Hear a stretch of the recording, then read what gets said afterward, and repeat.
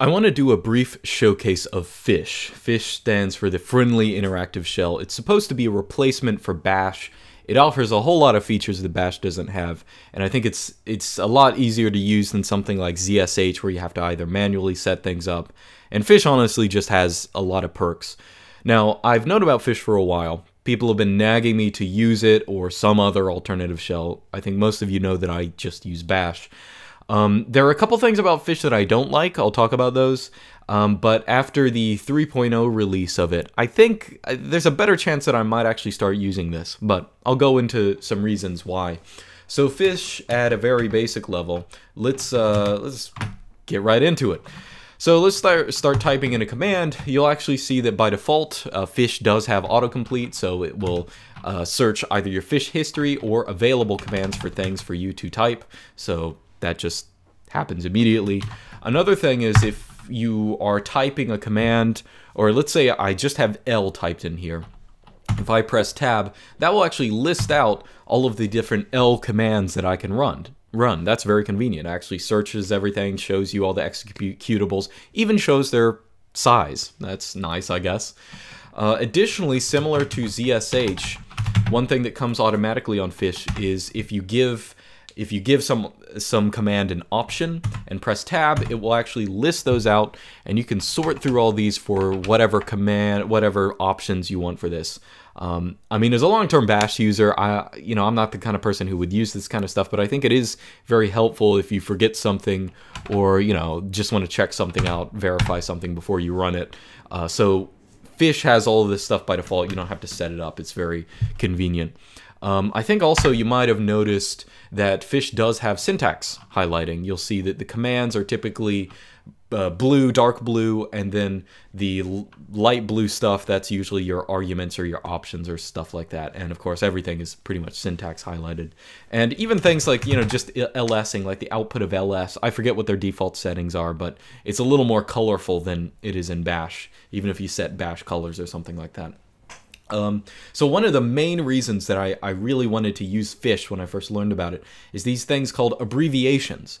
Now, Fish has aliases like bash and everything else, but it also has abbreviations. Now, abbreviations, they are nice because um, basically what they are, well, I'll, I'll tell you my problem. A lot of times in screencasts, I have a whole bunch of aliases in bash. This one, for example, CF, CFI is uh, open my i3 config. Now, when I run this in the video, people will get confused or something like that. But the nice thing about abbreviations in Fish is that when you type enter or when you press space, these will automatically evaluate to whatever they are. It'll show you what this command actually is. Or CFB, that's open my bash RC, or even if I just type space afterwards. Or another one I have is lowercase p for uh, sudo pacman, and that will automatically type it out. So that I think, I mean, it's a nice little visual perk if you want it, but it's not nice just to have these things. I think I have capital capital S, that's for sudo system CTL. Uh, it's nice to have these because it makes your history, your fish history, a lot more readable by you, yourself in the future and by other people. And uh, it's just sort of nice, especially because sometimes I have aliases that I might want to backspace in and make changes to or something like that. I, I don't even know if that's a real thing in YouTube DL, but whatever.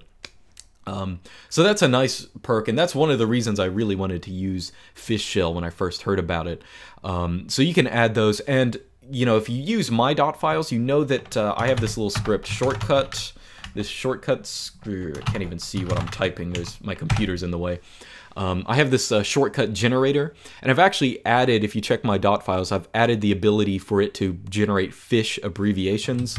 So it will generate, you give it whatever, um, you know, if I put in bookmark files or something like that, I have this um, uh, set of bookmarked files, and then it the script will automatically generate bash aliases, but also fish abbreviations. So that's something that, that I use now to auto-generate, you know, uh, WL means you know go to my landscape folder and show me all the stuff in there or something like that right? So now with fish you can see all the commands that you're running through aliases so some other stuff um, i guess i might show you a little showcase i prepared a little showcase of comparing bash and fish just um, to show you a couple things about it so let's say i want to make an if statement in both okay um, i'll go ahead and make one in bash so let's say i'll say if my browser is equal to Firefox. um, then echo it's Firefox. If it isn't, say it's something else. And then you end that with the FI, and of course it runs, and you have it's Firefox. Okay, that's what we expect. So let me show you the syntax in Fish, which is a little bit different, but it all the interactive aspect of Fish actually has some perks. I don't think I'll move it over to this side. Um, so if browser is equal to Firefox, um, notice first off that um, it's already syntax coloring everything you type in. So if I press space, notice also that it, it has tabbed out. So you now, instead of having this uh, sort of uh, this X, the PS2, the extra prompt in Bash, you actually have syntax uh, spacing and stuff like that. So I can type in echo, it's Firefox. Notice also I didn't include the then here, that's not an error. Um, else, else spaces back out automatically, uh, something else, blah, blah, blah, blah, doesn't matter. And then you end that if statement with end. So that will print out it's Firefox. Now that looks a, little funny because the whole thing was spaced out, but you actually see that it, it, I think it actually, if you, let's say I make this thing a little bigger, I think, yeah, if you, um, one nice thing, it also has like line wrapping. I didn't make a line big enough, but if I say something like if, uh, blah, blah, blah, da, da, da, da, da, da, it'll actually space that over to the next line. So anyway, that, that's another nice little thing. So again, look at the perks, syntax coloring, automatic spacing, and also um, you might like this, you might not like it, but Fish is not POSIX compliant. And I mean by that, I don't mean it like it has things like bash, it has like bashisms. It has extra features that POSIX shells don't have. There are also some things that POSIX shells have that Fish um, doesn't have. Um, now you might you might not know what I mean by that. I'll explain why that's a little annoying in a second. But um, you'll notice that fish actually does not take a then here, and also it doesn't end if statements with fi. It ends them with if or end, and it ends like case statements with end, everything with end. Um, now that of course means that you know fish sometimes runs into trouble when it's running when if you try and run some POSIX compliant shell with fish some things it can handle, some things it can't. Um, now, one thing I, I, mentioned before that I, after the 3.0 release, I am thinking of moving to Fish, and that's just because they added things like, um, oh, looks like I already typed this out. They added things like and and. It used to be you had to type something like uh, semicolon and then a literal and which I thought was so silly because it's just, it couldn't handle basic POSIX compliance. Anyway, why am I complaining about this? I'll explain to you why. What, why this is annoying is if I want to, I'm going to open up my fish RC. Um, one annoying thing about this is if you have bash aliases or bash uh, settings or if statements or other things that you want fish to be able to read, like you want to have them in common with multiple different shells, uh, you can't really do that because fish just has its own syntax. It does its own thing. Now again i don't i'm not against having its own uh, own additional features but there are some things like if i were to just feed it some bash function coinages. So this is how you have uh, you create functions in fish. If i were to give it some bash syntax for that it wouldn't be able to process it you know and that that's sort of annoying to me. Uh, i'd like it to be able to process pretty much any kind of POSIX compliant shell or bashisms, but you know, for whatever reason, it just does things differently. Another thing down here, um, you know, if you have a, a uh, subshell, they in bash you would have a dollar sign and then put the whole thing in uh, parentheses, but fish, for whatever reason, they just don't want the dollar sign. They can't handle it. And that sort of annoys me because I, I'd like to be able to have things that are in common between, I'd like to have an alias file or a function file that I could have in common between bash and fish.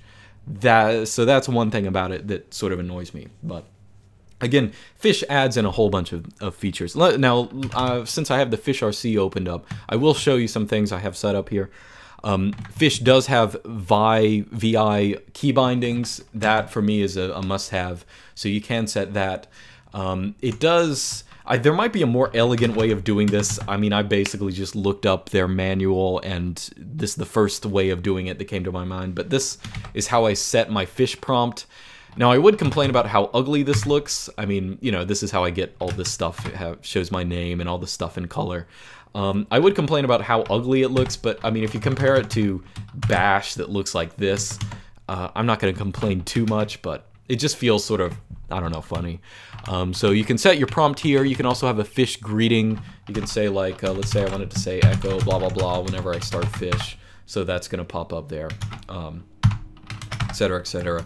And here are abbreviations. I think, I seem to remember in earlier versions of Fish, you could have an abbreviation over multiple lines, but I think the syntax changed, so I just have like an abbreviation command for each one of these. But if, if someone knows better, please tell me. Um, now, one other thing, one drawback about Fish's idiosyncratic syntax is the fact that I can't use it to like log in as fish, which I'd, re I'd really like to change my shell to fish and just leave it at that. Right now, what I'm doing is bash is my default shell, and I have fish start up from bash, and uh, that that's pretty much it. Uh, which really sort of uh, annoys me, to be perfectly uh, perfectly frank.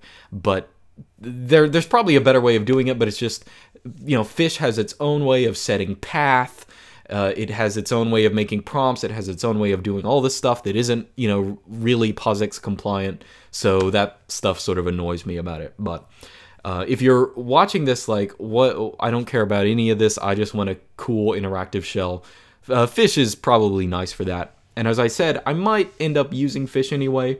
But I wanted to just throw this video out there just um, to, I guess, update you. So anyway, it sounded all things considered, I think it's a nice thing. I think there are some things that I would like fish to be a little more compatible with other shells for extensibility sake, but I think it's pretty useful, and uh, hopefully some of you guys will find it at least, you know, somewhat useful. But I'll see you guys next time.